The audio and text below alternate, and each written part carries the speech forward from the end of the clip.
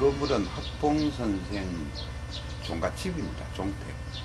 요, 요 음악입니까? 아, 상가 표시입니다. 상가 표시입니까? 아, 뭐 옛날에는 다 저렇게 만들었어요. 예, 예. 나고 이러는데 요새는 뭐 3일장하고 뭐 인설 없애고 하니까 그런데 이 종갓집이고 여기 또 이제 이름 좀 적어놓은 거는 그 장사 지낼 때 그 참여했던 분들, 예, 예.